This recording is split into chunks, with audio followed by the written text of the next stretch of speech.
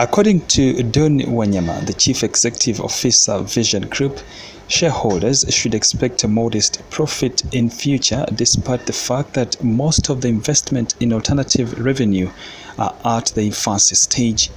This as the company still grapples with effects from the post-COVID-19 lockdown effects. Plans have been laid to ensure recovery. We still continue to feel the adverse effects of this pandemic, especially the lockdowns that were necessitated because we had to control the pandemic.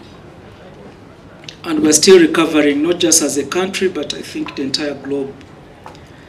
And partly because of that, we've seen increased costs of operation because of the disruptions in the global supply chain.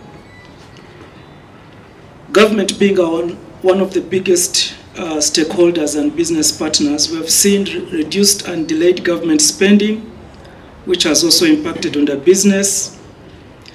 And for the general economy, we have seen incremental changes, actually uh, increases in core inflation, at some point getting into the double digit figures. Looking at this year's financial performance, the revenue grew by 29.5 billion shillings from 81.9 billion in 2020-2021 to 111.4 billion in 2021-2022.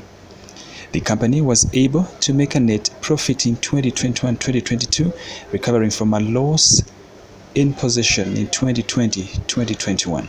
Wanyama said the shareholders' funds grew by 700 million from 65 billion in 2020-2021 to 65.7 billion in 2021-2022. Meanwhile, the components of shareholders' funds in 2021-2022 were worth 1.5 billion asset base grew to 102.1 billion in 2021 from 89.6 billion in 2020-2021. For the year ended June 30th, 2022, our economic performance has displayed there, dear shareholders.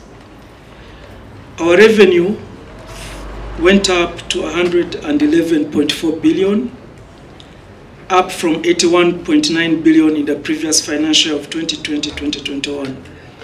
I must point out that uh, this was the first time that the company, despite the difficult business environment, was grossing revenue above the 100 billion mark. The company was able to retain earnings worth 33.6 billion shillings and proposed dividends worth 0.5 billion.